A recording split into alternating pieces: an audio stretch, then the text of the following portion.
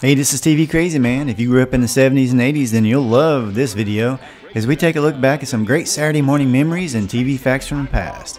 Some of these shows you may not have thought about for years or just completely forgot about.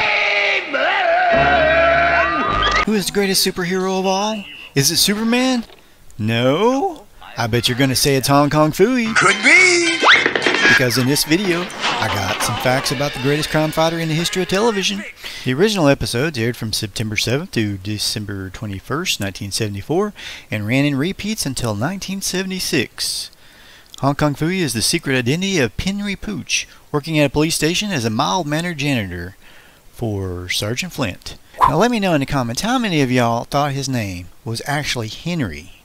See, because I thought it was Henry the whole time, after all these years. Is this kind of like the Mandela effect or something? I don't know. Now, Penry was always causing Sarge problems, and it's kind of hard to say if it was on purpose or just completely unintentional.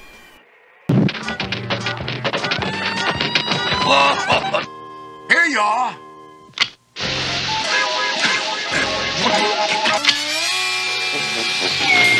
My examination papers. Ooh, ooh, my trophy. Henry! Penry listens in, has Rosemary, the telephone operator, takes calls on crimes in the city, and then he runs to a secret room where he jumps into a filing cabinet and transforms into the great Hong Kong Phooey. After Spot the cat lets him out, of course.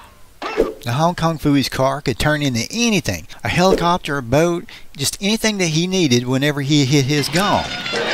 Now, Hong Kong Phooey always depended upon his book, Hong Kong Book of Kung Fu from the Hong Kong School of Kung Fu, for answers to defeat bad guys or solve any problem. To see if my Hong Kong Book of Kung Fu has a good way to catch crooks who make bad money. Now, Hong Kong Phooey was, of course, revered as the most popular superhero in the world, even though Spot the Cat did most of the actual work. Of course, Phooey always thought he had done it somehow, moving so fast that even he himself missed the bad guy's defeat. Funny thing, Spot. I moved so fast I never even saw myself get it. Phooey was so popular with the citizens that even if he knocked them down or accidentally beat them up, while he was in action, they thought of it as an honor to be roughed up by the great Hong Kong Phooey. What an honor to have had my expensive hat destroyed by the magnificent Hong Kong Phooey! Hong Kong Phooey was voiced by Scatman Crothers, who is familiar to every kid of the 70s, at least by the sound of his voice, if not by his name. He did work on the Globetrotters cartoon as Meadowlark Lemon, and then as Nate Branch, the Liquid Man on the Super Globetrotters. He was in several episodes of the new Scooby-Doo movies, Scat Cat in the 1970 animated movie The Aristocats, and then in the 80s he was Jazz the Autobot on the Transformers. He did a lot of guest appearances on live action television and starred in a lot of movies as well.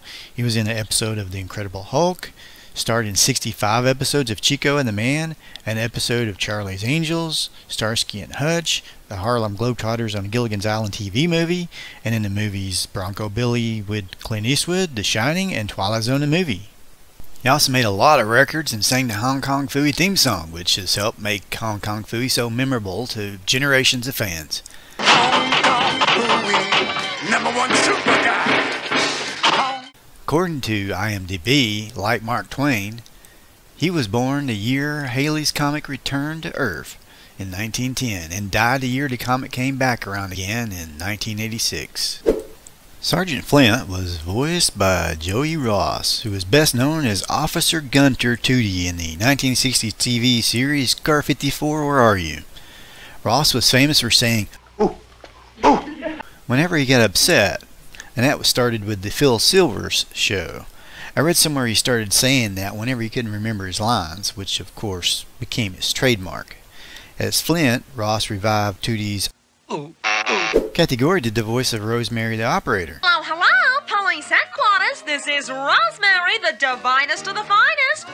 Gori did numerous voices for Hanna-Barbera, such as Lori in Inch High Private Eye 1973, Katie Butler in Valley of the Dinosaurs in 74, and additional voices for the new Tom and Jerry show in 1975. Don Messick did the voice of Phooey's buddy, the cat named Spot.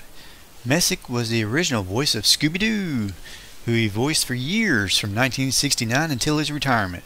He did a ton of other characters too as well, including Boo Boo Bear and Ranger Smith in the Yogi Bear Show, and some robots in the Transformers in the 80s. Hong Kong Phooey was a member of the Scooby-Doobies on Laugh Olympics in 1977. Hong Kong Phooey appears in the new Wacky Races episode, Hong Kong Screwy, and was voiced by Phil LaMarr. In this cartoon, he is referred to as Penrod instead of Penry the janitor. The racers encounter him in China and help him fight the forces of the evil organization KITTY, led by Golden Paw.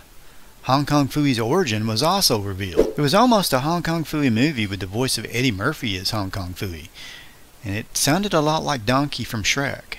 I'm this city's number one super guy.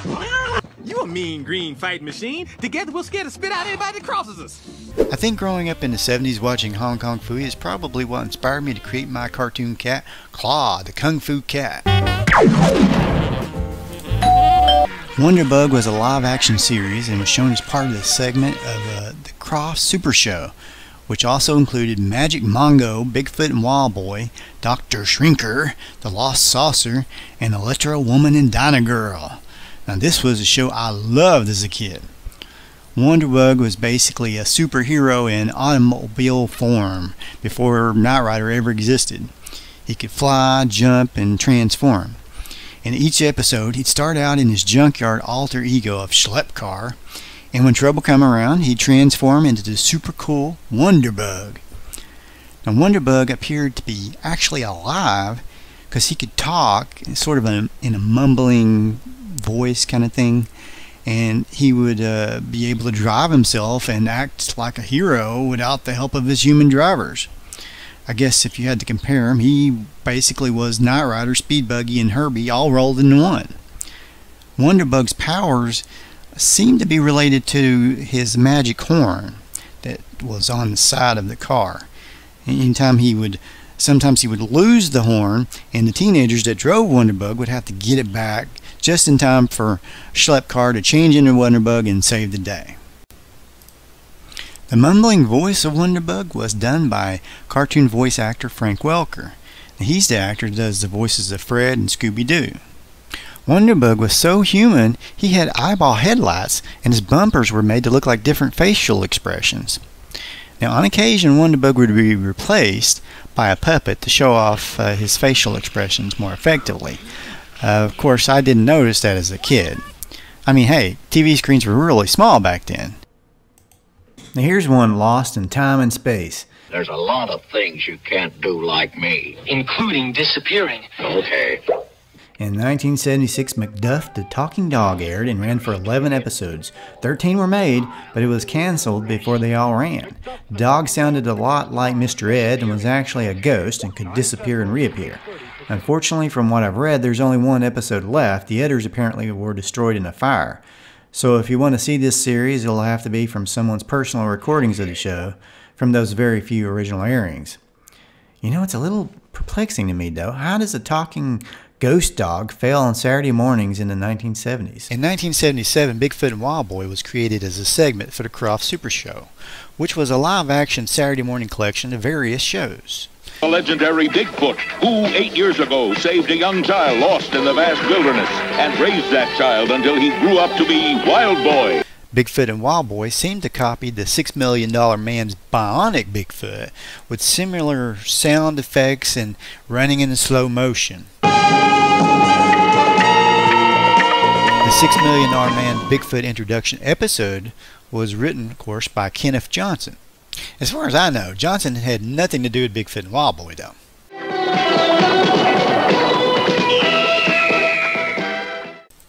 Now, there were no new episodes for Bigfoot and Wild Boy in 1978, but in the summer of 79, Bigfoot and Wild Boy got their own half an hour series without the Krofft Super Show. Now, why it debuted in the summer is kind of weird. Now, I remember vaguely being very excited as a kid to get to see brand new episodes on Saturday morning. And, in the summer, which was very unusual. Friends, I'm sure you're familiar with the Ghostbusters movie and its animated series, but today we're going to discuss the first Ghostbusters to hit television screens way back in 1975. It featured those two great actors, Forrest Tucker and Larry Storch, who starred together in a similar buddy role on the Western comedy series F Troop. This Ghostbusters was a Saturday morning TV show developed by Filmation Studios, and it wasn't actually related to the movie Ghostbusters. Filmation created a ton of Saturday morning favorites, including Superman, Batman, Shazam.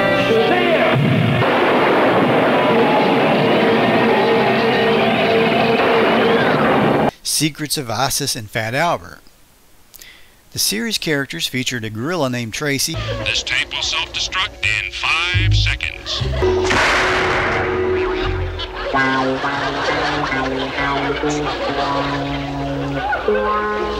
with Eddie Spencer and a human named Kong, just to confuse the audience, I guess.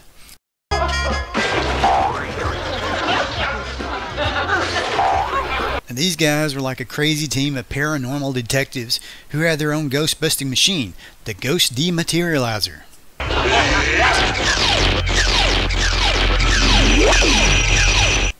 Some of their more famous ghost encounters involve Dr. Frankenstein and his monster, a mummy, the Red Baron, the Canterville Ghost, Count Dracula, Billy the Kid, Belle Starr, the captain and first mate of the Flying Dutchman, Dr. Jekyll, and Mr. Hyde, even.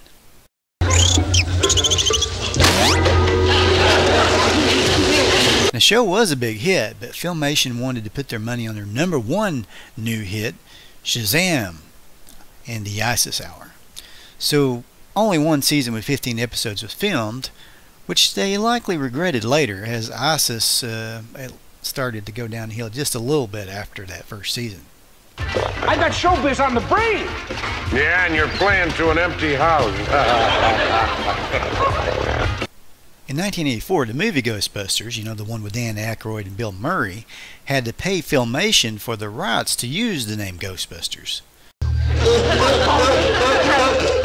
With the success of the movie in 1984, Filmation revisited their old version of Ghostbusters in a new animated series in 1986, while the movie version of Ghostbusters had its own animated series called The Real Ghostbusters, which ran from 86 to 91.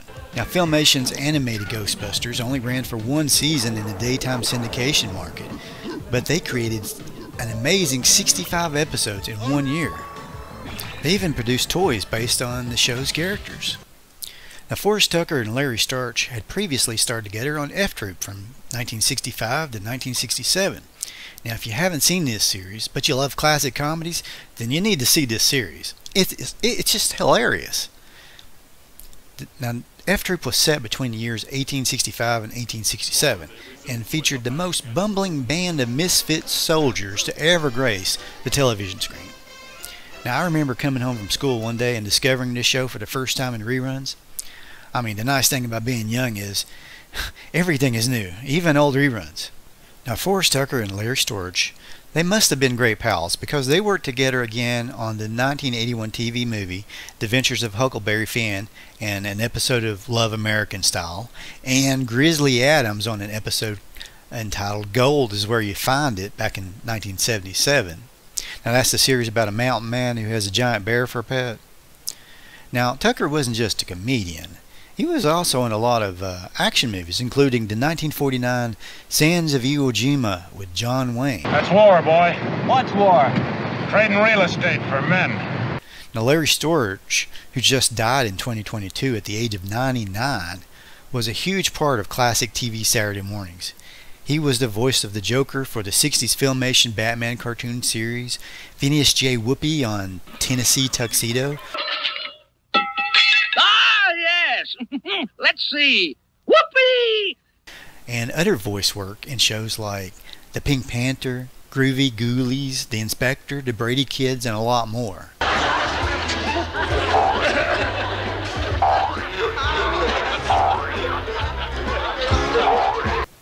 Now, Bob Burns was the human inside the gorilla suit for Ghostbusters.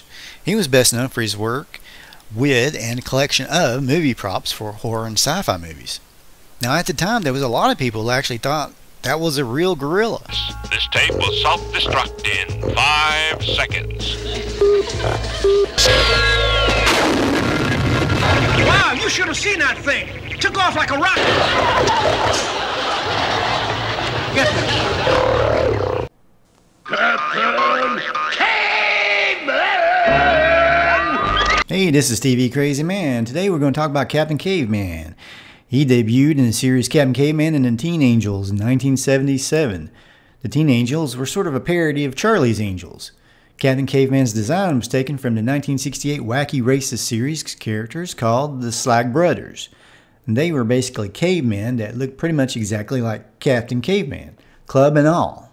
The story structure was basically like Scooby Doo, where the Teen Angels would find clues that led to the capture of a bad guy at the end of the episode. And they would usually have to unmask the bad guy, just like on Scooby. The only difference was the bad guy wasn't usually dressed as a monster, at least not every in every case. And just like the Scooby Gang, the Teen Angels had their own van, except Captain Caveman lived on top of the van in his cave.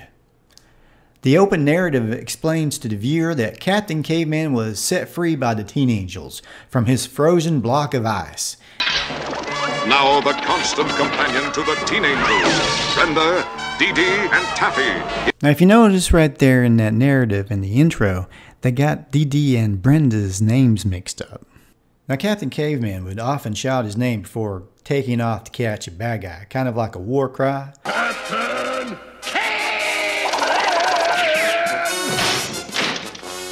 But often his power would just give out. Munga Munga, bad time for energy crisis.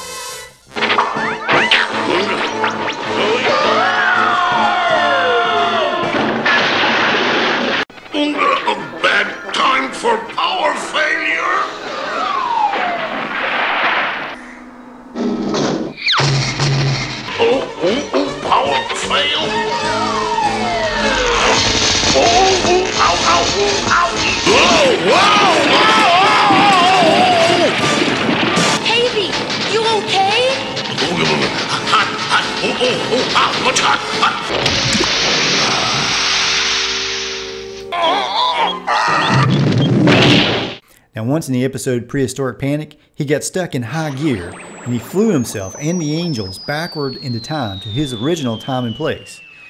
Captain Caveman's people seem to have been more primitive than the world of the Flintstones, even though the hero would join the Flintstones in their 80s series. Now, Captain Caveman could pull all kinds of prehistoric tools and creatures from his hair, which covered his entire body.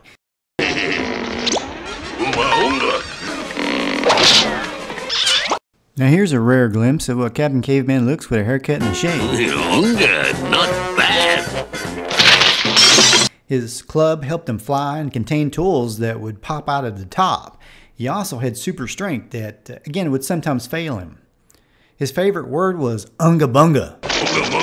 Sometimes Captain Caveman would eat things that aren't considered food, like bikes, TV sets, etc., etc. Unga Bunga and me love candy cane. A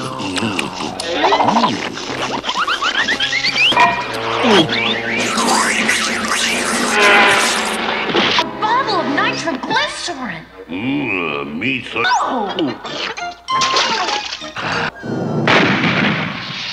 Mm, smooth.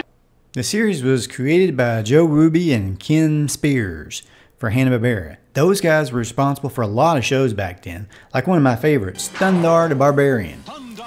There were 40 episodes in all that ran from 1977 to 1980. The show was originally a segment of Scooby-Doo's Laugh Olympics and then Scooby's All-Stars, in which Captain Caveman also appeared in the game sequences as a player on the Scooby-Doo team. In the last season of that series, Captain Caveman was shown separate from Scooby's Olympic show. Dee Dee Skies was voiced by Vernee Watson, as the brains of the team. I think we just found our second clue. Come on. You are a classic TV expert if you guessed her other famous role was that of Will Smith's mother, Viola Smith, on The Fresh Prince. Next character is Brenda Chance. She was the scaredy cat of the bunch, making her more of the shaggy of the gang. She was voiced by Marilyn Schreffler, who did voice work on a huge list of cartoon shows in the 70s and 80s, including the voice of Olive Oyl on the all new Popeye Hour. That was another favorite of mine. She did a few on screen performances, including Simon and Simon, Remington Steele, Airwolf, and Newhart. Taffy Dare was the blonde girl of the group who loved to shout Zowie. Zowie! This could be our first clue! She seems to have a crush on Captain Caveman in the series. She was voiced by Laurel Page, who did voice work on cartoons like The Littles, The Dukes, and The Snorks. She also appeared in the movie St. Elmo's Fire as a nurse. The king of Saturday morning himself, Mel Blanc, did the voice of Captain Caveman.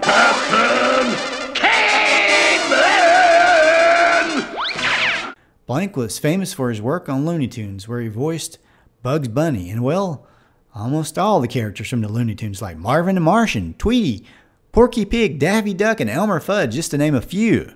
He had wolf speed. He also did a ton of voices for Hanna-Barbera, including the voice of Barney Rubble. He also had his own radio show, and he was a big part of the Jack Benny Show from the golden age of television and radio.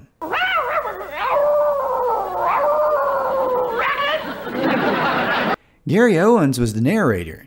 He also did the voice of Space Ghost and Blue Falcon. Set free by the Teen Angels from his prehistoric block of glacier ice comes the world's first superhero, Captain Caveman. Captain Caveman exists within the Flintstones universe, as he did show up in the Flintstone comedy show between 1980 and 82.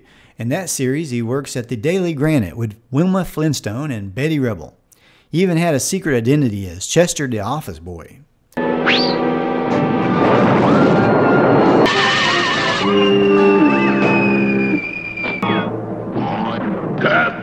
His next show was between 86 and 88 as a backup segment on the Flintstones Kids, in which he starred with his son.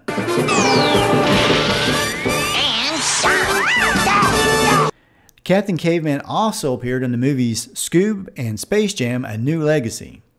And he appeared in the Scooby Doo Mystery Incorporated episode Mystery Solvers Club State Finals. Captain Caveman, alongside Cavey Jr. and the Teen Angels, appeared in the 2021 series Jellystone. Captain Caveman and the Teen Angels, the complete series, was released on DVD in 2013. The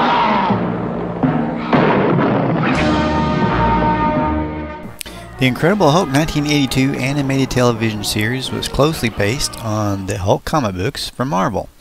And the series only ran for 13 episodes on NBC and was part of a combined hour with Spider Man and his amazing friends. I loved this show as a kid. It's amazing how they were able to run the same episodes again the next season and keep it going without even one more new episode. The origin of the Hulk was presented much closer to the comics version than the live action version with Bill Bixby and Lou Ferrigno, which had just ended that same year. The supporting cast featured the comics characters Betty Ross, Rick Jones, General Ross, and Ned Talbot, who was actually named Glenn Talbot in the comics. The characters Rio and his only daughter Rita were added, and they didn't, but they didn't appear in the comic books. In this cartoon, the Hulk could talk, unlike the live-action series. They also went back to Bruce Banner instead of David Banner, as they did in the Bill Bixby series. Now, this was the second Hulk animated series. In 1966, the Hulk appeared in 13 seven-minute segments as part of TV's The Marvel Superheroes. The Spidey Goes Hollywood episode of Spider-Man and His Amazing Friends, first broadcast in late 1981, served as a something of a backdoor pilot for the Incredible Hulk cartoon show. Other changes from the comics was that the Hulk's best friend Rick Jones had long blonde hair and wore a cowboy hat all the time.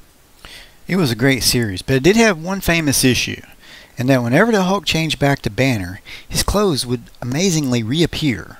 Perhaps it was just to, the, to save time explaining how Banner found new clothes in the middle of nowhere, or saving from having to explain why he didn't have a shirt on to General Ross or Betty, and save us, the viewing audience, of wasted time that could have been better used for the Hulk smashing. Stan Lee did the narration for the show, which I always thought was awesome.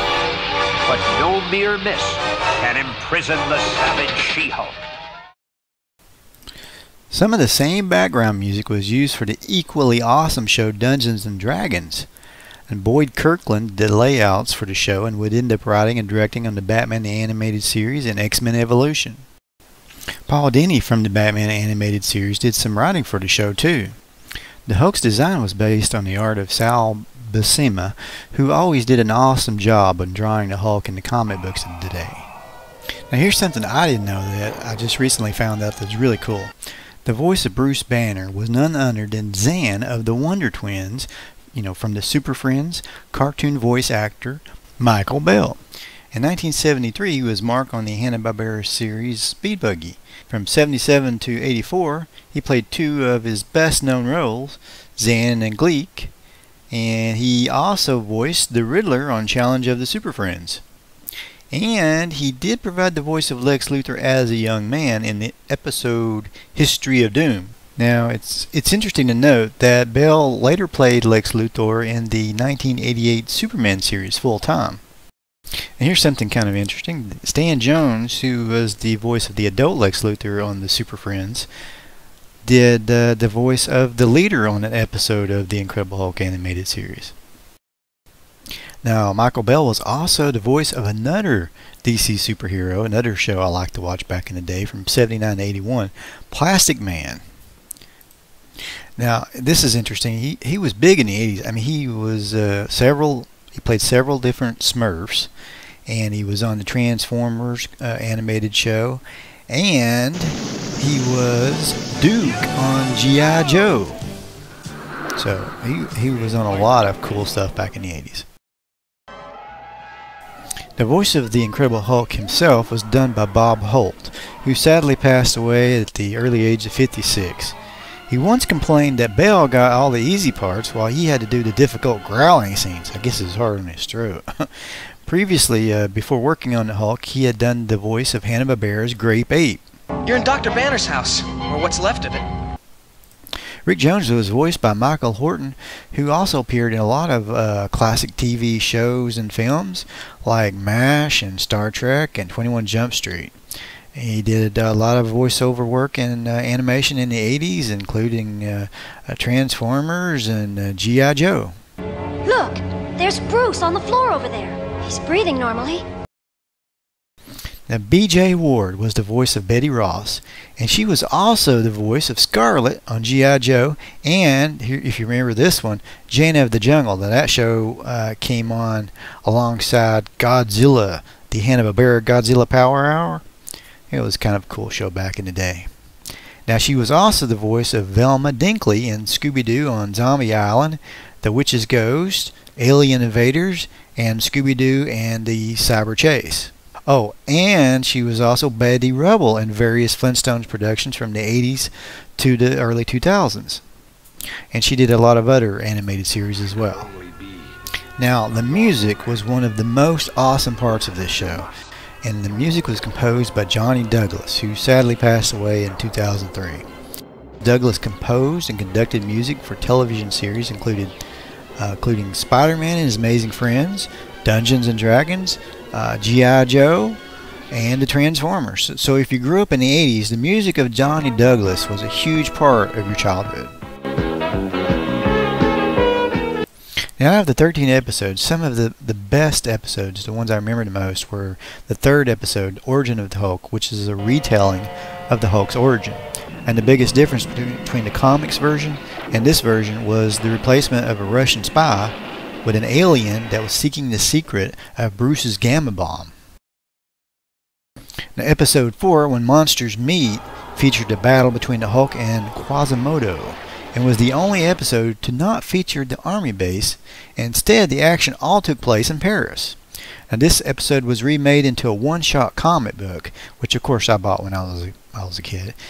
Episode 7 featured my favorite subject, which is time travel, when the Hulk travels back in time and is faced with cavemen and dinosaurs. Episode 10 featured the Hulk's biggest enemy from the comics, the Leader. In episode 11, guest starred the Hulk's cousin, She-Hulk, and Bruce and Rick travel to Los Angeles to visit Bruce's cousin, Jennifer Walters, to try to learn how she is able to maintain her intelligence when she changes into the She-Hulk. But their attempt is endangered thanks to the efforts of the terrorist group Hydra. Hail Monster Squad aired Saturday mornings on NBC from September 11, 1976 to September 3, 1977. Monster Squad featured a sort of comedic superhero team of monsters that do good deeds and fight bad guys in order to make up for the misdeeds of their past. The monster heroes included Dracula, Wolfman, and the Frankenstein's monster. According to the show, Walt, a criminology student who was also a night watchman at a wax museum, built a crime computer that somehow brought to life wax statues of the legendary monsters. In the show, the monsters all seem to have the memories of the real monsters, which leads you to believe that somehow they are the real deal that's been brought back to life. The group travels in a cool looking monster van. Each monster had a utility belt, like the 60s Batman. Creator Stanley Ralph Ross was one of the main writers from the Adam West Batman TV series, so he brought a lot of that campy fun to the Monster Squad. Julie Newmar, aka the Catwoman, even guest starred as the Ultra Witch on one episode. Frankenstein actor Michael Lane even played on a couple of episodes of Batman as the character Daddy Longlegs in the episodes Caught in the Spider's Den and The Black Widow Strikes Again. Oh, and Ross was also the voice of Gorilla Grodd on the Challenge of the Super Friends. You puny super friends are no match for us and worked to develop the Lynda Carter Wonder Woman series of the 70s. Each monster had a CB code name, because CBs were big back then, of course. Walt was Chamber of Horrors, Dracula was Night Flyer, Frank was Green Machine, and the Wolfman was Furball. What else would you expect? All the monsters appear to be modeled after, but carefully different enough to not get into legal trouble with Universal and their movie monster designs. The Frankenstein's monster was goofy, kind of like Herman Munster. Gonna wipe them out! All of them! To the very last man! but he went by the name of Frank N. Stein. Maybe, maybe the cows are just on strike. No, there has to be some other reason. Bruce? But he had bolts on top of his head instead of his neck. He was played by the uh, actor Mike Lane. Mike Lane, or Michael Lane, had played Frankenstein before, once on the movie Frankenstein 1970, which was actually made in 1958 but was set in the future. That movie's Frankenstein looked more like the mummy than Frankenstein, at least from the trailer, and I haven't actually seen the movie. But I don't think they showed Lane's face uh, throughout the movie. Now, Mike Lane also played Frankenstein for the 1966 super funny rock group the Monkees in the episode Monstrous Monkee Mash. In that episode, he kind of had a sort of a Elvis hairdo. Davy Jones, you shouldn't monkey around with a monster. Now, Dracula went by Drac and was played by Henry Polic II.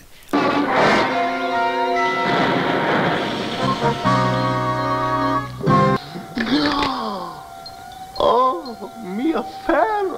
Polic had a surprising connection to Batman as well, but it wasn't the 1966 Adam West series. It was as the voice of the Scarecrow, aka Dr. Jonathan Crane, on the Batman the Animated series. Now, he did a lot of voice work for Scooby Doo shows in the 80s, Yogi Bear, The Smurfs, Fonz and the Happy Days Gang, and Bill and Ted's Excellent Adventures. Probably his longest lasting role was that of Jerry Silver on Webster. Now, the Wolfman called the werewolf in the intro. That also, I have a gun. That won't stop me. With silver bullets. That will stop me. Went by the name of Bruce W. Wolf. He was played by Buck Kartalian. He was actually on the episode of Batman as well, on the episode Hot Off the Griddle, where he played a Julie Newmar's Catwoman henchman named John, which is ironic because he fought Julie Newmar's villainous character in the Monster Squad. So many ironies here. All dealing with Batman almost. Now, he actually appeared in an episode of The Munsters as well, as a workman in the episode Underground Munster.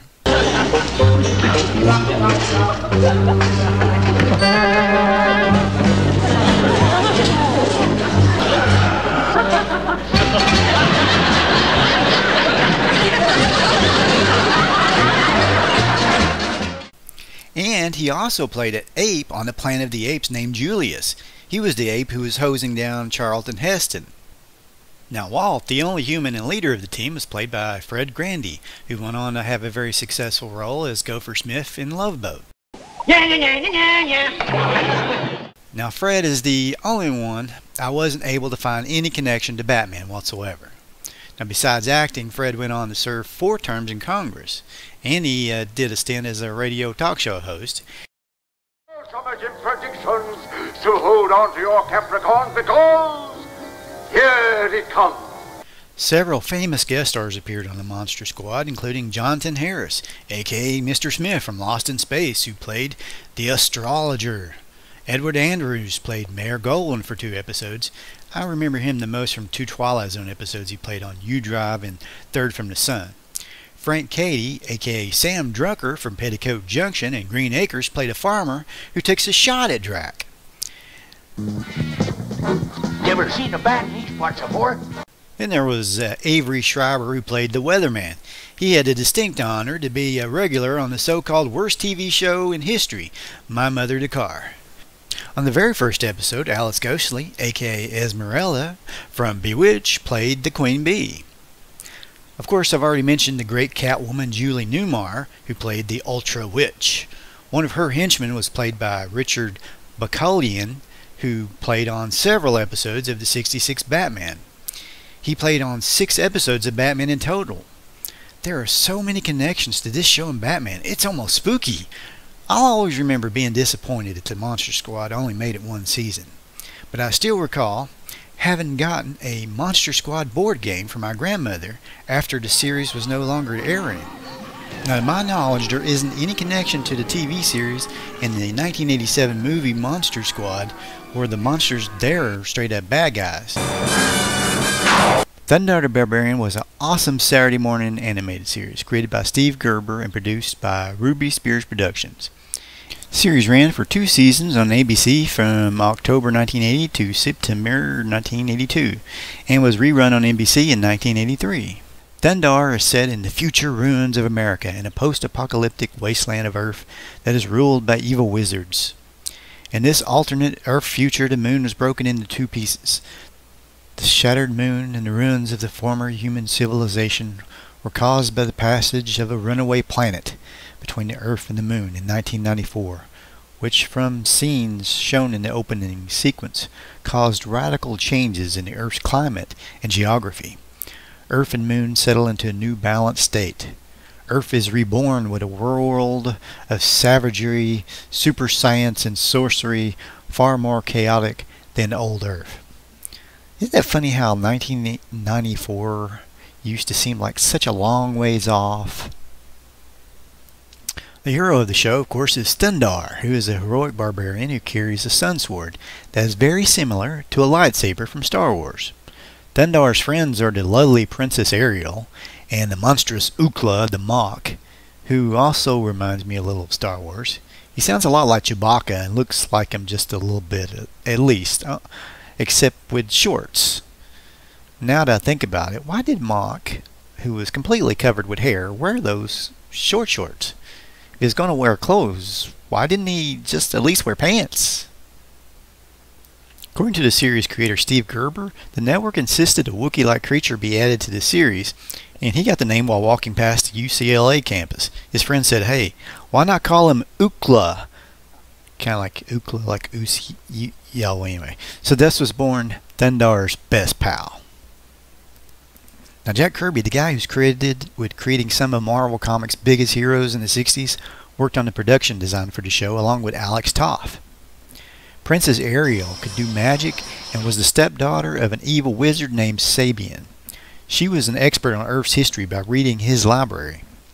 She would always explain to Thundarr what was uh, what whenever they ran into something from Earth's past you know, like a helicopter or rocket, whatever case may be. Now, she could make energy blasts, which was cool. And she seemed to like Thundarr a lot, but being a Saturday morning cartoon, Thundarr, uh, Thundarr never really could return much in the way of affection. But uh, he is shown on the series to be very protective of her. So after the first two seasons, the network uh, wanted to make room for Laverne and Shirley in the Army slash Mork and Mindy cartoon. So Thundarr moved to NBC, where he was shown in reruns for at least one season. Now, who thought, who in the world thought that replacing a unique series like Thundarr with a Laverne and Shirley cartoon was a good idea? Now, Fonz and the Happy Days Go- uh, Gang was a great show, and so was the live version of Laverne and Shirley. But a cartoon, I mean, it just, you know, I never watched it. But uh, now I did watch Fonz and the Happy Days Gang cartoon because, well, the Fonz was cool, of course, and there was time travel. I just can't resist time travel. Now, according to writer Mark Evanier, I uh, hope I'm saying that right, there would have been a third season if Garry Marshall uh, who in 1982 was the most powerful man around ABC because he was, you know, in charge of uh, Happy Days and Mork and Mindy, Laverne Shirley, all those big shows. If he had demanded the network clear half an hour in their uh, Saturday schedule for a Mork and Laverne and Shirley cartoon, well, then it probably would have got another season. Thundarr managed to get 21 episodes in two seasons. Scooby-Doo, Where Are You was created by Joe Ruby and Ken Spears. These are the same guys that brought us Thundarr the Barbarian in 1980. Scooby was produced by Hanna-Barbera for CBS way back in 1969. This very first and original version of Scooby ran for two seasons until 1970. Many various incarnations would follow. Uncle Scooby? Hi, I'm Scrappy Doo. Scrappy Doo? There's actually a third season on DVD that was episodes that aired on Scooby's Laugh Olympics in 1978. Did you know originally Scooby was going to be named Too Much? Yes, the name of the dog was going to be Too Much. And the series was going to be called Mystery 5. And then Who's Scared? And uh, Fred hated the title. Hated the title Mysteries 5. Enthusiasm for the show was going right down the drain. And then finally, Fred says, You know, we talked about doing a show with Bob Denver, and it was going to be called Who's Scared. Now, believe it or not, originally Scooby and the gang were going to be musicians. Groovy, guys, really. At some point in the creation process, the CBS execs uh, above Fred Silverman were worried that the show was too spooky and violent. So they renamed the show Scooby Doo, Where Are You after the dog, so they could focus on Scooby, which provided more humor to soften those scary backgrounds and spooky bad guys on the show. A light bulb went off, and I said, We'll take that dog, we'll move him center stage, make him the star of the show, and call the show Scooby Doo, Where Are You? Inspirations for Scooby-Doo originally were the Archies, but I believe they moved away from that and more towards Dobie Gillis for the designs of the teens, and then Abbott and Costello for the spooky comedy mystery angle. Scooby was basically Costello in Fred Silverman's mind. Come on, take it all out. If we could capture the essence of what Abbott and Costello did, then we would end up with a big hit. Interestingly enough, Hanna-Barbera had actually done an Abbott and Costello cartoon in the late 60s. And as I was saying, the teen designs were clearly inspired by the cast of Dobie Gillis. Fred was Dobie. My name's Dobie Gillis, and I'm in love with a girl named Thalia Menninger. Shaggy was patterned after Maynard G. Krebs. What? Would you mind moving on? How come? Well, no offense, Sonny, but this is a clothing store, and I'd hate to have anyone think that you just came out of here. Now, the beautiful Thalia that Dobie was always trying to win over on the Many Loves of Dobie Gillis lined right up with Daphne. Like hi. Hi. Zelda Gilroy, the very intelligent, nerdy kind of girl, lined up with Velma, only without the glasses. Iwao Takamoto, who became kind of the, the head stylist and art director for the studio. Iwao Takamoto designed Scooby and created him by giving Scooby the exact opposite characteristics of what a stereotypical perfect version of a Great Dane would be, to make him funny, of course. Now, Scooby Doo is one of the longest running cartoon series of all time, when you include all the various incarnations that have followed over the decades. Over here.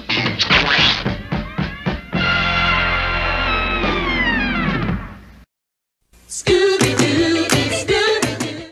Scooby Doo, get a clue.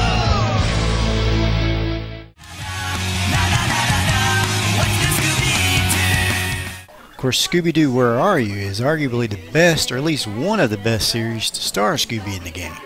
But let's look at the characters and the voices behind them. Zoink! First up is Casey Kasem, who did the voice of Shaggy Rogers, Scooby Doo's best pal. Shaggy, just like Scooby, can eat more food than anyone without ever gaining any weight for longer than five minutes at a time.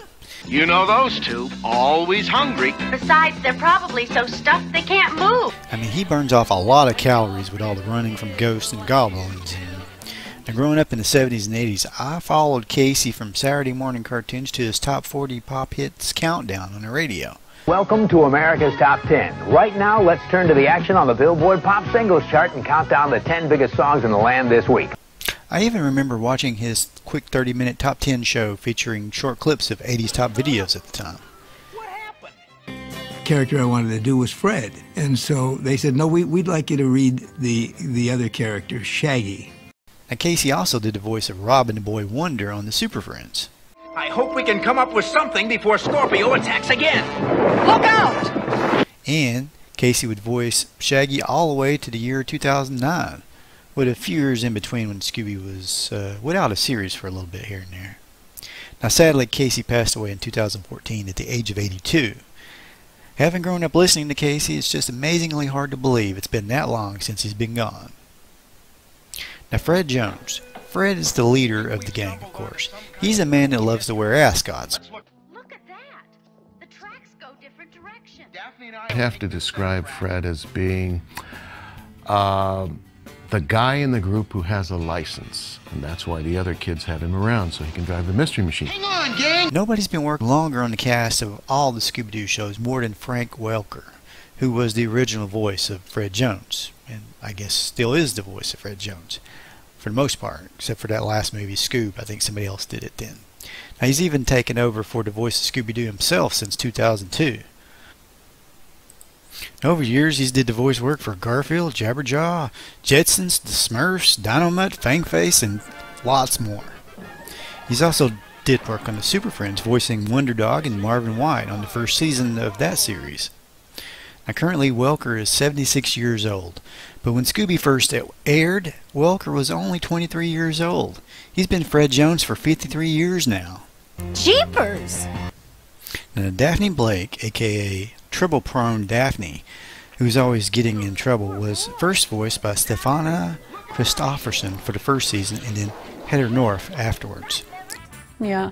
She would fall down chutes and get the rest of the kids in trouble. She was very right for the character. So when the other girl left, I, fa- I called Heather and I said, come down right away and audition for this. I think I hear them coming. Daphne, don't lean over so. When danger-prone Daphne did it again. Velma, the brainy girl, Velma Dinkley, who is always losing her glasses and always reminding us that she can't see without her glasses, was uh, her voice was done by Nicole Jaffe. My glasses! I can't see without my glasses. There, that's better. Now, Scooby Doo, Scooby Doo is, of course, a lovable Great Dane that is afraid of his own shadow, but will surprise you with a heroic act from time to time. He's usually the reason the gang catches the bad guy at the end of every episode. His favorite food, of course, is the Scooby Snack, which he has to compete with uh, Shaggy for. Now, why Shaggy likes to eat dog treats, I'm not sure. The Scooby snack smells delicious. A Scooby snack?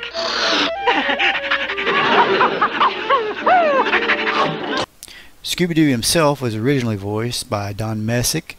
He's also voiced Astro from the Jetsons, Muttley, Ranger Smith from Yogi Bear, Papa Smurf, Dr. Benton Quest from Jonny Quest, and lots more. Don was just brilliant at breathing life into that character. Unfortunately, he passed away back in 1997 at the age of 71.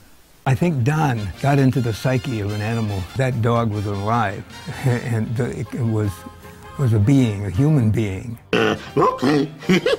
Scooby Dooby Doo. Now, what really sets apart the original series from a lot of later ones is the fun chase scene music that played on the episode starting in the second season. The songs were performed by Austin Roberts.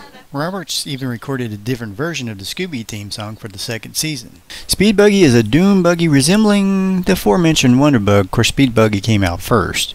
But instead of a live action series, Speed Buggy was an animation uh, done by Hanna-Barbera. Speed Buggy talked just like any other cartoon character and was obviously self-aware and had very human-like eyes and a mouth. Speed Buggy being a racing car was pretty much a cross between Scooby-Doo and Herbie the Love Bug.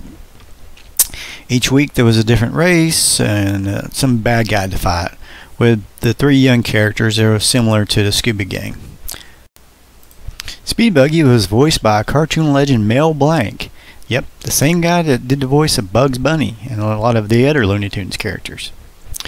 Even though the show only lasted one original season in 1973, the, the original series was reran over several different networks over the years, creating fans from one generation to the next.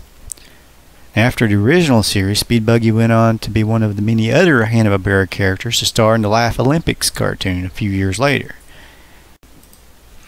Speed Buggy would also go on to cameo in Johnny Bravo, My Life as a Teenage Robot, something I've never ever seen before in my entire life, Invader Zim, also something I've never seen in my entire life, Animaniacs, Scooby-Doo and Guess Who, and Futurama. He's also starred in one of the, uh, at least one of the new Scooby-Doo movie episodes of the early 70s, and Mystery Incorporated a few years back. Uh, he also did a cameo in the new Scooby-Doo uh, big budget movie Scoob, and he's had some comic book appearances as well. In 2018, Speed Buggy was in a one-shot DC comic book with The Flash. And back in the 70s, Speed Buggy also had his own comic book series made by Charlton Comics. The Pebbles and Bamm-Bamm Show was a Saturday morning cartoon and would lead to the Flintstones basically owning Saturday mornings during the 70s and 80s, almost as much as Scooby-Doo. I mean, there was all kinds of variations that included Fred and Barney Meet the Thing, Fred and Barney Meet the Shmoo, Flintstones Comedy Hour, the comedy show, the Flintstones Kids, and even episodes on prime time in the form of a few specials here and there and TV movies. Pebbles and Bamm-Bamm, it wasn't as good as the original series, but it wasn't an insult to it either. I mean, which is kind of what I'm afraid the new Fox series might be. I mean, who knows until it airs, but I mean, maybe a miracle will happen. But uh, anyway, Pebbles and Bamm-Bamm in 1971 focused on the teenage years of these characters. They used some of the old gags as the original show, like the prehistoric gadgets that were usually made to work with small dinosaurs or birds. You know, I never could figure out how those phones worked back then, without electricity or anything else. Operator? Hello? Hello, operator? Hello? Hello? Mm. Weirdly enough, I looked through all the episode descriptions and scanned around my DVD collection of this series, and you know, I didn't find any appearances of Dino. Like, where was he? Now, I know he did show up on the next season when the series turned into the Flintstone Comedy Hour. If it weren't for that, I'd almost think Dino had gotten old and passed away. How could you have a Flintstones without Dino? The only thing that threw me off was the fact that from 1971 onward, Bamm-Bamm on any of the Saturday morning Flintstone shows was no longer super strong. That bugs me to this day. What happened to Bamm-Bamm by his teenage years? That I mean, he should have been as strong as Superman by now. He was stronger as a toddler than the teenage Bamm-Bamm. Interestingly enough, there's an episode where Pebbles drinks a strength formula on the Pebbles and Bamm-Bamm show and gets the same level of strength you would have expected Bamm-Bamm to have. I don't have any problems with Bamm-Bamm's personality on this show. Like it or not. Really, but I, I don't know. I, I think I would have made him more of a surfer dude, like I did with my character Doug, son of Lug, from my Stone Age modern family of time travelers that star in my book series, Caveman Comics. Now, this is Doug Lug. He sounds like he's straight out of the 80s. Whoa, Dad, are you like totally okay? Whoa, like see you later, Dad. All right, bye. The Pebbles and Bamm-Bamm show had Fred, Barney, Wilma, and Betty all there, and they all appeared to seem to uh, avoid any kind of aging. Cartoon characters are just so lucky that way. Most of the old Flintstones voice cast was back, including Alan Reed as Fred, Jean Vanderpyl as Wilma, and Mel Blanc as Barney. What I find fascinating, though, is who voices Bamm-Bamm and Pebbles. Bamm-Bamm was voiced by Jay North, the child star that brought the comic strips Dennis the Menace to life in a very popular comedy that ran from 1959 to 1963. Relax, Peb. We got plenty of time. Jay hasn't had a lot of work since then. He's credited with a couple more things for the Flintstones and a handful of other shows. Here he is doing a skit in 1987 mocking himself as an out of work child actor on Not Necessarily the News. Jay in an exclusive, heartfelt one on one interview about the joys of being a child star and growing up in Hollywood. In 91, he told Katie Couric he hated with a passion working on Dennis the Menace, mostly due to his aunt and uncle who was responsible for him on the set.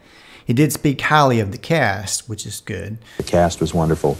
Herb Anderson, Gloria Henry, Jeannie Russell, uh, all wonderful people. And But it's unfortunate that he hates the series with such a passion because it was such a fun show to watch. It's made me laugh a lot over the years.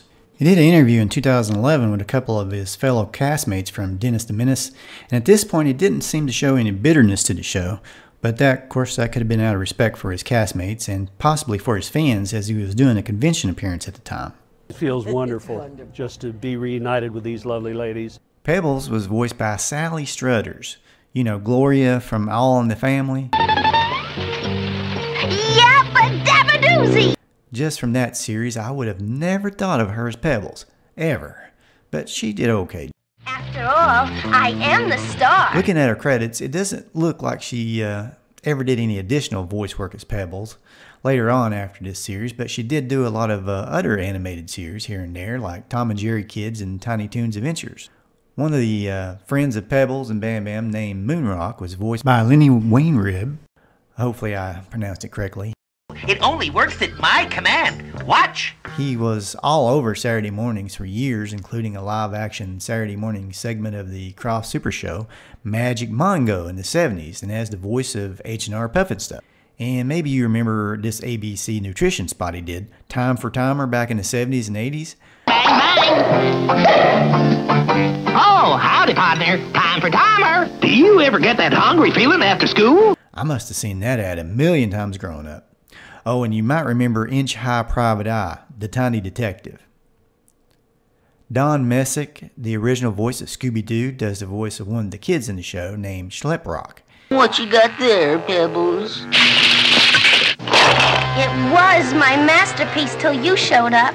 In his lifetime, he used his voice on countless cartoons. He was Astro, Papa Smurf, Ranger Smith, Muttley, Bandit, a couple of Transformers, one of the Tiny Toons, Scarecrow from the Challenge of the Super Friends, and just on and on and on. Unfortunately, he passed away back in 1997 at the age of 71. Uh, okay. Scooby Dooby Doo.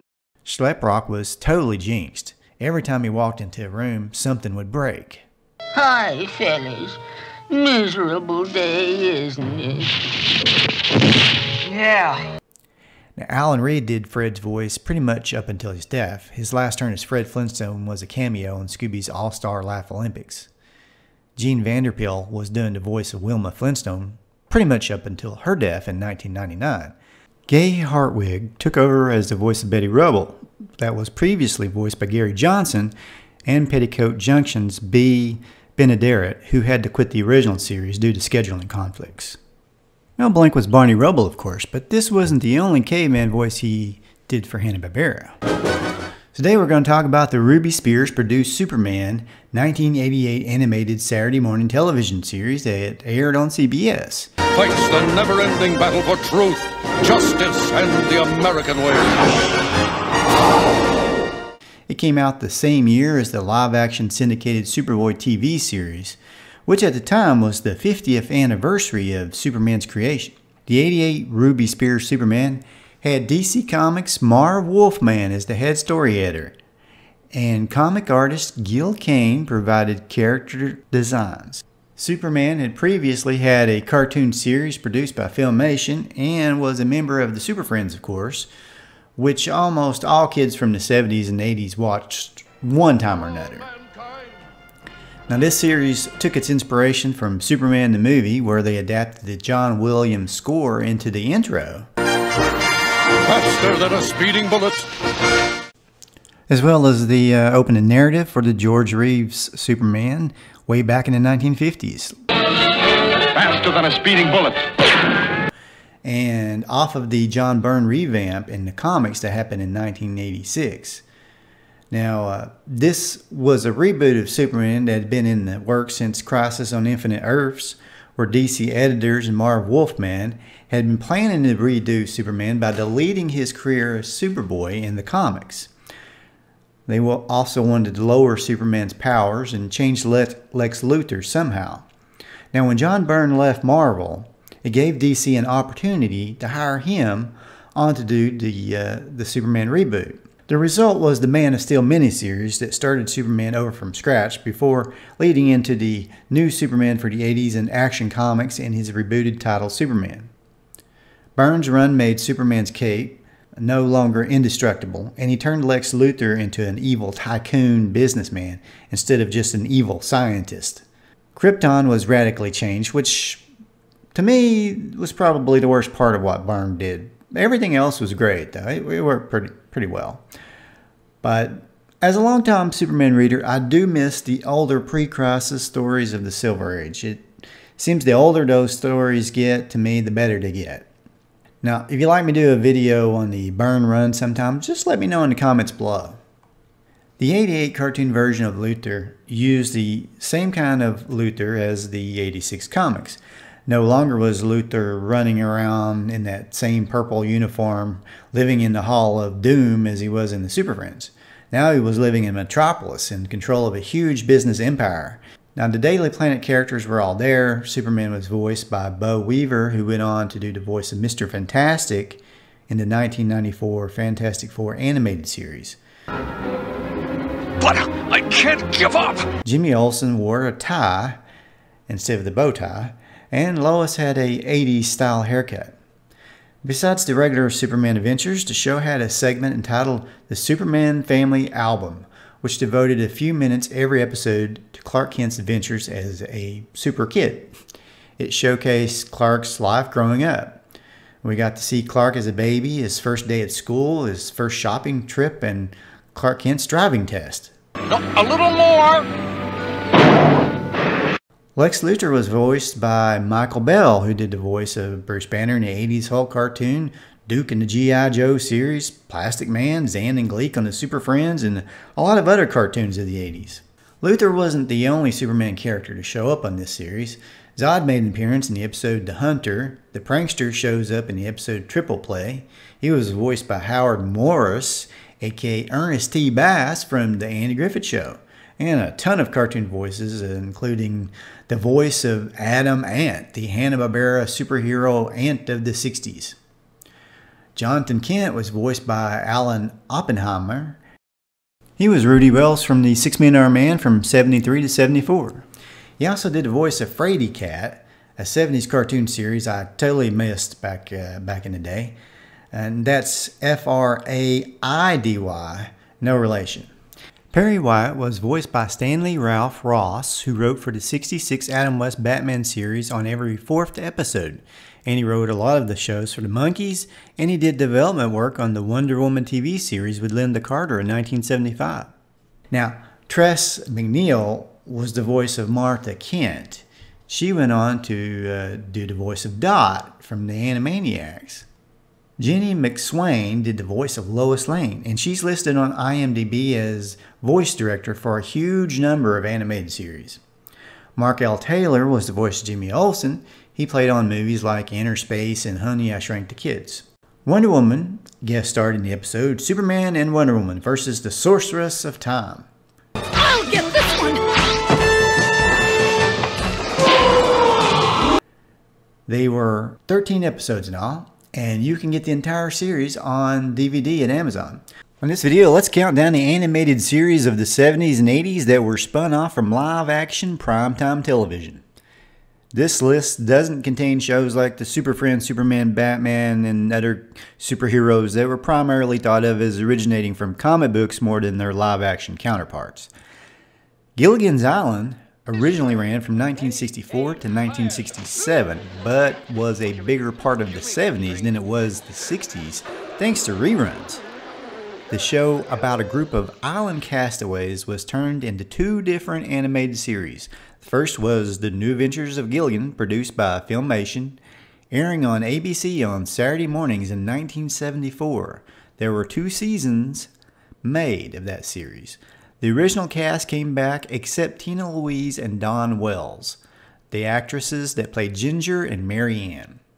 The next cartoon for Gilligan was Gilligan's Planet that aired on CBS in 1982. Here on Gilligan's Star Planet. Oh, yeah.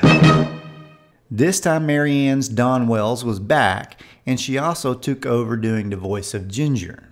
Addams Family, TV series, originally ran between 1964 and 1966. The Addams Family showed up on the new Scooby Doo movies in the 70s and included most of the actors from the original series. But then, when it became an animated series in 1973, Ted Cassidy returned once more as Lurch, and Uncle Fester's Jackie Coogan returned, but John Astin and Carol Jones did not. The Addams Family also had an animated series in 1993 where the only original actor to return was John Astin. The Lone Ranger TV series ran from 1949 to 57 and was turned into a cartoon series twice. Now, the first one was in 1966, but the second one was in 1980. The original actors didn't come back, but in 1980, William Conrad was the voice of the Lone Ranger. He was really famous. He played as the Detective Cannon in the 70s, and he also starred in the 80s Jake and the Fat Man. The Lone Ranger. Return with us now to those thrilling days of yesteryear. From out of the past come the thundering hoofbeats of the great horse Silver. Now, the Brady Bunch TV series aired between 69 and 74 and was turned into an animated series called The Brady Kids in 1972. And that featured the kids of the show. The original actors came aboard for the first season, but a couple of them bailed on the second season. The series actually guest starred Superman, Lois Lane, and Wonder Woman once. It actually came before Wonder Woman's Super Friends debut. Now, Lassie ruled television for years before getting her own animated series in 1972. I'm not sure who voiced Lassie, but it has been said that Lassie's trainer, Rudd Weatherwax, hated the series. He said, quote, the manufacturers of this rubbish have incorporated violence, crime, and stupidity into what is probably the worst show for children of the season. Space, the final frontier. Now, Star Trek became an animated series in 1973. Most of the original cast returned. It even earned an Emmy for Outstanding Entertainment for a children's series. The 70s TV series Emergency was adapted into Emergency Plus 4 in 1973. Cartoon features the show's two main characters, young firefighter paramedics Johnny Gage and Rory DeSoto, voiced by the actors who played them on the primetime series. It also added a plus four of young people trained in life-saving techniques, along with their pets.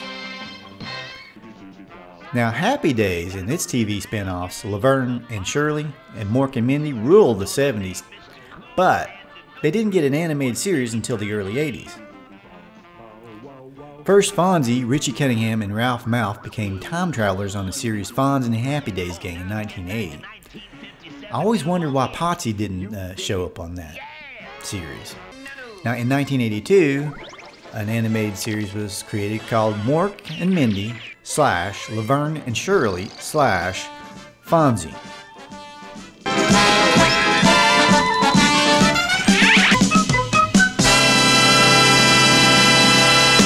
Now, practically every kid in America was watching the Dukes of Hazzard TV series about fast cars like the General Lee and the bumbling Sheriff Roscoe P. Coltrane. Now, it got turned into an animated series called The Dukes, which included the main cast members as the voices. But in the first season, it was the replacement Dukes, Coy and Vance. And then in the second, it became Bo and Luke as they came back to the primetime series as well that season. Now, Alf was a popular kids' comedy in the 80s and was adapted into an animated series in 1987. Alf's voice, Paul Fusco, was the only one from primetime series to appear. It showed us what Alf's life, life was like on the homeworld of Melmac. Hey, if you like animation, we got a playlist of animation history and original cartoons I created for the TV Crazy Man channel. And also check out my other channel, Frady Cat Cartoons, for original family friendly cartoons. So please subscribe, hit the bell for future notifications. Thanks for watching and have a great day.